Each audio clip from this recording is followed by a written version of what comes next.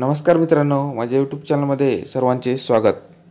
सातव्या नायकाबद्दल एक आनंदाची बातमी आलेली आहे. आजची राज्यात शिक्षक व शिक्षकेतर कर्मचाऱ्यांना सातवा आयोग झाला लागू. चला तर काय आहे संपूर्ण बातमी पाहूया.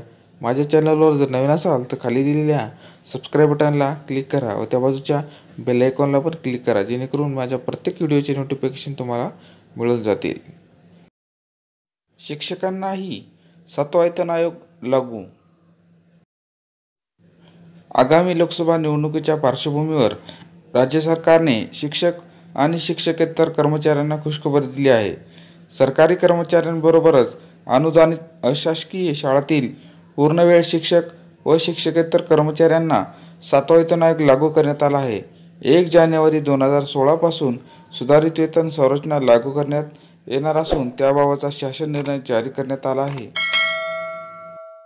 सरकारी कर्मचाऱ्यांबरोबरच सरकारी शाळेतील पूर्णवेळ शिक्षक शिक शिक्षक व शिक्षकेतर कर्मचाऱ्यांना सातवा वेतन आयोग लागू करण्याबाबत सरकार विचाराधीन होता.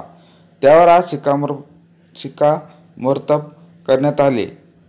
या निर्णयानुसार महाराष्ट्रात खाजगी शाळातील कर्मचारी सेवेच्या शर्ती नियम एकोणीसशे सत्याहत्तरमधील व्याख्यानुसार राज्यातील शिक्षण विभागाच्या अखत्यारीत येणाऱ्या अनुदानित खाजगी प्राथमिक माध्यमिक उच्च माध्यमिक कनिष्ठ महाविद्यालय अध्यापक विद्यालये व सैनिकी शाळेतील पूर्णवेळ शिक्षक शिक्षकेतर कर्मचाऱ्यांना सातवा वेतन आयोगानुसार सुधारित वेतन संरचनेचा लाभ मिळणार आहे.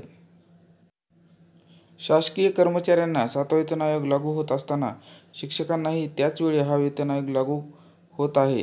वेतन आयोगाच्या अत्याप आत्तापर्यंतच्या इतिहासात यापूर्वी वेतन आयोग लागू झाल्यानंतर शिक्षकांना कधी सहा महिन्यांनी तर कधी आठ महिन्यांनी वेतन आयोग लागू व्हायचा. पण यंदा पहिल्यांदाच शिक्षणमंत्री विनोद तावडे यांच्या प्रयत्नाने शिक्षकांनाही शासकीय कर्मचाऱ्यांबरोबरच सातवा वेतन आयोग लागू झाला आहे.